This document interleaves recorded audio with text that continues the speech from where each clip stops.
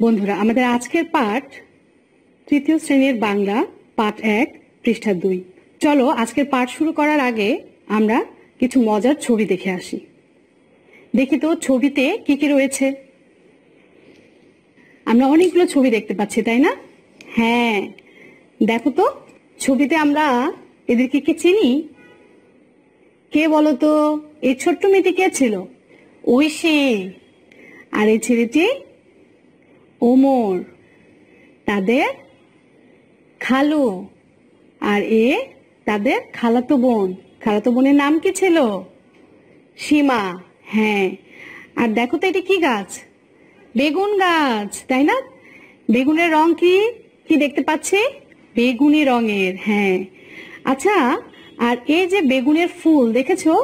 এই বেগুনের ফুলের উপর কি দেখতে পাচ্ছি? প্রজাপতি। মৌমাছি, তাই না? প্রজাপতি আর মৌমাছি কি করছে? ফুলে মধু নিচ্ছে, তাই তো? তারপরে দেখো তো, বেগুন গাছের ডালে একটি পাখি, ছোট্ট একটি পাখি, তাই না? তোমরা কি বলতে পারবে এটি কি পাখি? বলো তো, কি পাখি এটি? টুনটুনি পাখি। হ্যাঁ এটি টুনটুনি পাখি। আমরা পরের ছবিতে কি দেখতে পাচ্ছি? দেখো তো। খালু, তাদেরকে কি দেখাচ্ছে? আর এই যে গাছটি, এই গাছটি কি গাছ বলো তো? আম গাছ হ্যাঁ। আর খালু কি দেখাচ্ছে? আম গাছের ডালে কি? মৌচাক হ্যাঁ। আর অনেকগুলো মৌমাছি, তাই না? মৌচাক। আচ্ছা মৌচাক কি বলতো তোমরা জানো? হ্যাঁ যেখানে মৌমাছিরা মধু সংগ্রহ করে রাখে। আমরা প্রথম ছবিতে কি দেখলাম? মৌমাছি? বেগুনের ফুল থেকে কি সংগ্রহ করছিল? এই দেখো, মধু, তাই না? সেই মধু নিয়ে সে কোথায় রাখছে? এই যে মৌচাকে। হ্যাঁ দেখেছ? মৌচাকে মধু জমা করছে মৌমাছিরা তাই না? আচ্ছা পরের ছবিটা দেখি আমরা। এই ছবিতে আমরা কি দেখতে পাচ্ছি বলো তো? এই ছবিতে আমরা একটি গাছ দেখতে পাচ্ছি, তাই না? আর ফুল, অনেকগুলো ফুল ফুটেছে। ফুলের উপরে কি? মৌমাছি। তারপরে দেখো তো, পিঁপড়া হ্যাঁ। আর ফুলের উপরে পাখিটা উঠছে, তাই না? হ্যাঁ। আচ্ছা এখানে আমরা পিঁপড়া দেখছি, মৌমাছি দেখছি। এগুলো কি বলো তো? কীট পতঙ্গ হ্যাঁ এগুলো হচ্ছে কীট পতঙ্গ পোকামাকড়। হ্যাঁ। আচ্ছা বলো তো, তোমরা জানো কীট পতঙ্গ কাকে বলে? কীট হচ্ছে যে পোকামাকড়গুলো উঠতে পারে না, সেগুলো হচ্ছে কীট। আর পতঙ্গ হচ্ছে যে পোকামাকড়গুলো উঠতে পারে। যেমন প্রজাপতি, মৌমাছি, এগুলো হচ্ছে পতঙ্গ।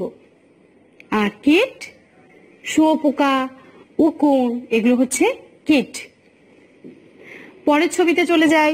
দেখো তো, পরের ছবিতে আমরা কি দেখতে পাচ্ছি? খালু, ওদেরকে কি দেখাচ্ছে দেখো তো? হ্যাঁ গাছে মুকুল ধরেছে। আম গাছে মুকুল ধরেছে, তাই না? মুকুল দেখতে পাচ্ছি আমরা। সবাই, ওরা কি করছে দেখো, উপরে আমের মুকুল দেখছে। খালু ওদেরকে নিশ্চয়ই কিছু একটা বলছে, তাই না? তাহলে চলো আমরা শুনে আসি এই ছবিগুলোর কথাগুলো কি, গল্পটা কি, ঠিক আছে? তোমরা তাহলে কি করবে বলো তো? তোমাদের বইয়ের পৃষ্ঠা নাম্বার দুই বের করবে। তাহলে চলো আমরা বোর্ডে দেখি। আমরা সবাই বই বের করেছি। দেখো তো, প্রথম ছবিটা আমরা লক্ষ্য করব। প্রথম ছবিটা আমরা সবাই লক্ষ্য করি। এখন আমরা ছবির কথাগুলো পড়ি। ঐশে আর ওমর যেমন অবাক, তেমনি খুশি। খালু বললেন, পাখিরা কীট পতঙ্গ খায়? অনেক পাখি আবার মধুও ভালোবাসে। এই যে এখানে। এখানে আমরা কি দেখতে পাচ্ছি? মৌমাছি, প্রজাপতি, পাখি, তাই না? হ্যাঁ ওরা মধু খায়। আবার অনেক পাখি কি করে? মধুও ভালোবাসে। পরের ছবিতে চলে যাই, চলো। তোমরা বইয়ে লক্ষ্য করো। ওরা দেখল একটা আম গাছের ডালে বড় একটা মৌচাক। খালুর কাছে শুনলো, মৌমাছি, পিঁপড়ে ও পাখিরা গাছের অনেক উপকার করে। হ্যাঁ এখন তোমরা বলো তো মৌমাছি, পিঁপড়ে ও পাখিরা গাছের কীভাবে উপকার করে? মৌমাছিরা কীভাবে উপকার করে? মৌমাছিরা যখন ফুল থেকে মধু নিয়ে যায়, তাদের মৌচাকে রাখার জন্য তখন পরাগায়ন ঘটায়। এই পরাগায়ন সম্পর্কে তোমরা তোমাদের বিজ্ঞান বইয়ে জানতে পারবে। ফুল থেকে ফল হওয়ার এই যে নিয়মটা, সেটা পরাগায়নের মাধ্যমেই হয়। আর পিঁপড়ে ও পাখিরা, এরা কীভাবে উপকার করে? পাখিরা যখন ফুল ফুটে যখন পিঁপড়ে আক্রমণ করে ফুলে, তখন পাখিরা কি করে? সেই কীট পতঙ্গ পিঁপড়েকে খেয়ে ফেলে, যেন ফুল থেকে ফল হয়। তাহলে মৌমাছি, পিঁপড়ে ও পাখিরা গাছের অনেক উপকার করল, তাই না? তাহলে চলো আমরা পরের ছবিতে চলে যাই। এই ছবিতে আমরা কি দেখতে পাচ্ছি? পাখি, পিঁপড়ে ও মৌমাছিরা ফুলে ফুলে ঘোরে। মধু খাওয়ার সময় এক ফুলের রেণু অন্য ফুলের রেণুর সঙ্গে মিলে যায়। দেখেছ? এর আগের পড়াতে আমরা কি পড়লাম বলো তো? মৌমাছিরা গাছের উপকার করে। কীভাবে উপকার করে? ওরা যখন মধু খাওয়ার সময় এক ফুল থেকে আরেক ফুলে যায়, তখন কি করে? ফুলের যে রেণু থাকে, সেই রেণুটা কি করে? এক ফুলের সাথে আরেক ফুলের রেণু মিলে যায়। তাই গাছে ফল ধরে। তখন গাছে ফল হয়। তাহলে আমরা পরের ছবিতে চলে যাই। এবার দেখো তো, ওরা কি দেখছে উপরে? আম গাছ দেখিয়ে খালু বললেন এখন গাছে মুকুল হয়েছে। এই যে, এগুলো হচ্ছে গাছে মুকুল, তাই না? কিছুদিন পর এগুলো আমের গুটিতে পরিণত হবে। আমের মুকুলগুলো থেকে কি হবে? ছোট ছোট দানা বের হবে। ছোট ছোট আম, তখনও সেটা আম হবে না। ছোট ছোট যেটা, সেটা হচ্ছে গুটি। তাহলে আমরা কি দেখলাম? খালু তাদেরকে আম গাছে মুকুল দেখাচ্ছে এবং বলছে, কিছুদিন পরে এই মুকুল থেকে গুটি তৈরি হবে। তাহলে চলো আমরা আবার ছবিগুলো একটু একসাথে দেখি এবং আবার আমরা পড়ি। আমি পড়ছি, তোমরা মনোযোগ সহকারে শুনবে। ঐশী আর ওমর যেমন অবাক, তেমনি খুশি। খালু বললেন, পাখিরা কীট পতঙ্গ খায়। অনেক পাখি আবার মধুও ভালোবাসে। তোমরা লক্ষ্য করো এখানে, আমি এখানে কমা রয়েছে, থেমেছি, আবার দাড়ি যখন কমা থাকবে, আমরা থামবো। দাড়ি যখন থাকবে, তখন আমরা একটু বেশি সময় থামবো। আমরা যখন পড়ব তখন আমরা এই জিনিসটা খেয়াল করব। ওরা দেখল, একটা আম গাছের ডালে বড় একটা মৌচাক। খালুর কাছে শুনলো, মৌমাছি, পিঁপড়ে ও পাখিরা গাছের অনেক উপকার করে। পাখি, পিঁপড়ে ও মৌমাছিরা ফুলে ফুলে ঘোরে। মধু খাওয়ার সময় এক ফুলের রেণু অন্য ফুলের রেণুর সঙ্গে মিলে যায়। তাই গাছে ফল ধরে। আম গাছ দেখিয়ে খালু বললেন, এখন গাছে মুকুল হয়েছে। কিছুদিন পর এগুলো আমের গুটিতে পরিণত হবে। এখন তোমরা কি করবে বলো তো? এই যে অংশটুকু আমরা এখন পড়লাম, সেই অংশটুকু থেকে তোমাদের অজানা অথবা নতুন শব্দ, সেই শব্দগুলো খুঁজে বের করবে। নতুন শব্দগুলো আমরা এখন কি করব? খুঁজে বের করব। দেখো তো, তোমাদের অজানা শব্দের সাথে এই শব্দটি মিলে কিনা। শস্য। হ্যাঁ তারপরে দেখো তো কি? কীট পতঙ্গ। শস্য, কীট পতঙ্গ। হ্যাঁ। মৌচাক। মুকুল। গুটি। তাহলে এই শব্দগুলো সবগুলো নতুন শব্দ, তাই না? হ্যাঁ। এখন কি করব আমরা? এই সবগুলো শব্দের অর্থ জানব। শস্য, এই শব্দটির অর্থ কি বলো তো তোমরা কেউ জানো? হ্যাঁ শস্য শব্দের অর্থ ফসল। আচ্ছা এরপর আমরা কি দেখতে পাচ্ছি? কীট পতঙ্গ, তাই না? কীট পতঙ্গ শব্দের অর্থ আমরা এখন জানব। কীট শব্দের অর্থ হচ্ছে যে পোকামাকড়গুলো উঠতে পারে না। যেমন শুঁয়োপোকা, উকুন, এগুলো হচ্ছে কীট আর পতঙ্গ। যে পোকা উঠতে পারে, সেগুলো হচ্ছে পতঙ্গ। যেমন মৌমাছি, প্রজাপতি, এগুলো হচ্ছে পতঙ্গ, তাই না? তাহলে কীট পতঙ্গ শব্দের অর্থ আমরা কি পেলাম? পোকামাকড়। এর পরের শব্দ আমরা কি পেয়েছি? মৌচাক। চলো আমরা জেনে আসি মৌচাক শব্দের অর্থ কি? যেখানে মধু সংগ্রহ করে রাখা হয়। তারপরে দেখো তো, তারপরে শব্দ কি? মুকুল হ্যাঁ। মুকুল শব্দের অর্থ তাহলে কি বলতো? মুকুল শব্দের অর্থ কুড়ি। তারপরে শব্দ কি? গুটি, তাই না? তাহলে চলো আমরা দেখি গুটি শব্দের অর্থ কি? ছোট ছোট দানা। তাহলে আমরা অনেকগুলো নতুন শব্দ পেলাম। শব্দগুলোর অর্থ পেলাম। এখন তোমাদের বইয়ে তো এরকম নতুন শব্দ অনেক রয়েছে, তাই না? তোমরা কি করবে বলো তো? এই নতুন শব্দগুলো তোমাদের পাঠ্য বইয়ের একদম পিছনে, পাঠ্য বইয়ের একদম পিছনে চলে যাবে। পৃষ্ঠা নাম্বার একশো চার। দেখো, এখানে লেখা রয়েছে, শব্দের অর্থ জেনে নেই। তোমরা কি করবে? যে শব্দটি তোমাদের অজানা, যে শব্দটি তোমাদের কাছে নতুন, সেই শব্দের অর্থ তোমরা এই শব্দগুলো থেকে জেনে নেবে। প্রত্যেকটা শব্দের প্রথমে অ, আ, ই, যে শব্দ দিয়ে শুরু হয়েছে, শব্দটি যে বর্ণটা দিয়ে শুরু হয়েছে, সেই শব্দটি তোমরা লক্ষ্য করবে। তুমি এখন মনে করো শস্য চাচ্ছ। শস্য শব্দের প্রথম বর্ণটি কি? তালবস্য, তাই না? তাহলে তোমরা কি করবে? বইয়ে তালবস্য প্রথমে খুঁজে বের করবে। প্রথমে তালবস্য খুঁজে বের করবে। পেয়ে গেলাম একশো নয় পৃষ্ঠা। দেখো, এখানে রয়েছে তালবস্য দিয়ে যে নতুন নতুন শব্দগুলো, সেগুলো রয়েছে। দেখো, সবার নিচে তালবস্য সবার নিচে রয়েছে শস্য, অর্থ ফসল, তাই না? তাহলে আমরা খুব সহজেই বইয়ের শেষের দিকে শব্দের অর্থ জেনে নেই, সেখান থেকে জেনে নিতে পারব। কেমন? তাহলে আমরা তো শব্দ জানলাম, শব্দের অর্থ জানলাম, এবার চলো আমরা বাক্য তৈরি করতে শিখি। তাহলে শব্দগুলো জেনে নেই। কি কি শব্দ? দেখো তো। মৌমাছি, তাই না? তারপরে মুকুল। তারপরে উপকার। এই তিনটা শব্দ দিয়ে আমরা কি করব? বাক্য তৈরি করব।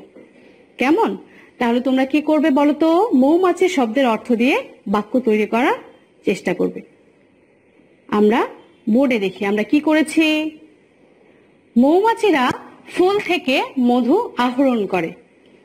তারপরে কি রয়েছে? মুকুল। মুকুল দিয়ে তাহলে আমরা কি বাক্য পেয়েছি দেখি?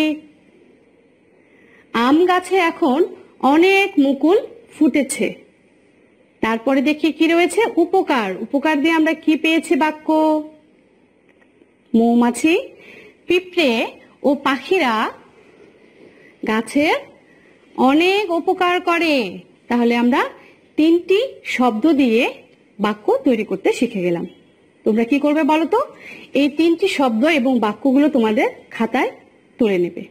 আমরা আমাদের যে পাঠটুকু আজকে পড়লাম, সেখান থেকে যুক্ত বর্ণগুলো দেখে আসি। আমরা এখান থেকে যুক্ত বর্ণগুলো এখন কি করব? দেখব। দেখি তো কি কি যুক্ত বর্ণ রয়েছে। পতঙ্গ। যুক্ত বর্ণ রয়েছে। পতঙ্গ। তারপরে কি? শস্য। পতঙ্গ, শস্য, এই দুটি শব্দের মধ্যে যুক্ত বর্ণ রয়েছে। এখন আমরা কি করব বলতো? এই শব্দগুলো কে? বর্ণটি, যুক্ত বর্ণটি আলাদা করব এবং নতুন শব্দ তৈরি করব। যুক্ত বর্ণটি কি দেখো তো? ও যুক্ত গ। ও যুক্ত গ। আমরা এখন এটি ভেঙে নেই। ও গ।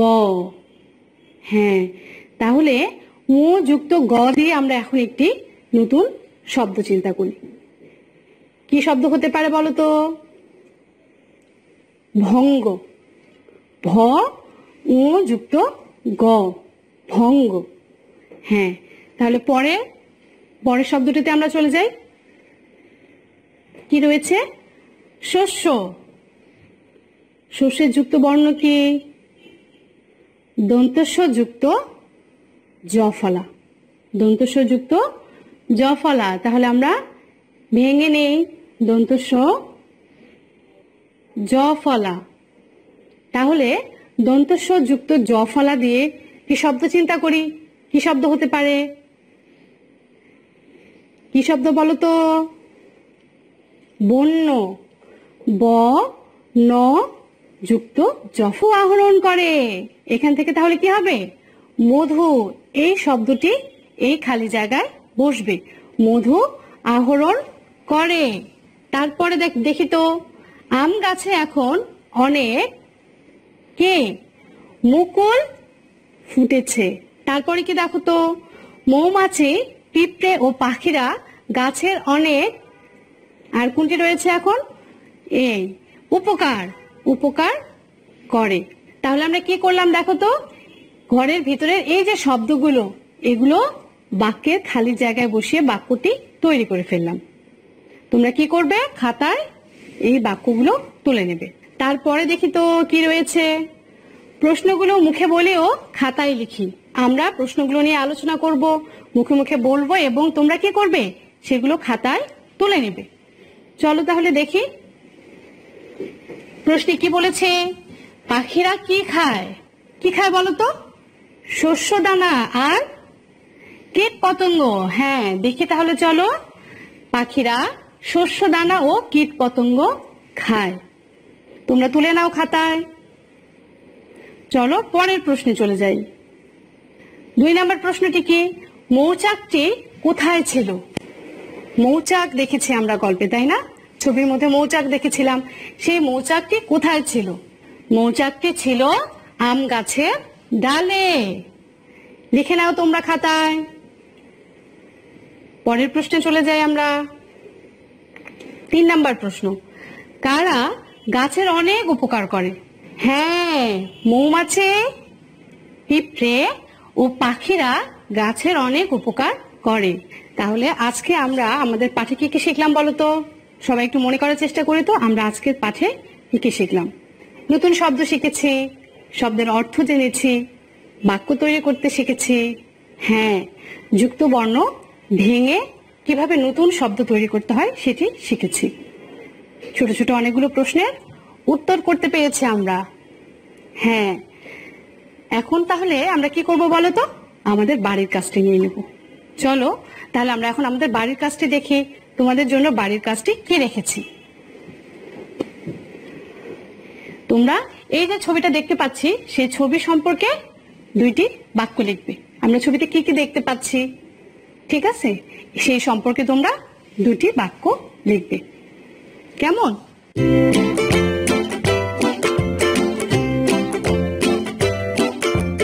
প্রিয় শিক্ষার্থী বন্ধুরা, তোমরা বাসায় মনোযোগ সহকারে পড়বে, বাড়ির কাজগুলো মনোযোগ দিয়ে করবে এবং বাবা মায়ের কথা শুনবে স্বাস্থ্যবিধি মেনে চলবে। প্রিয় অভিভাবক বৃন্দ, আপনাদের উদ্দেশ্যে বলছি, আপনাদের শিশুদের এখন আপনারা অনেক বেশি সময় কাছে পাচ্ছেন।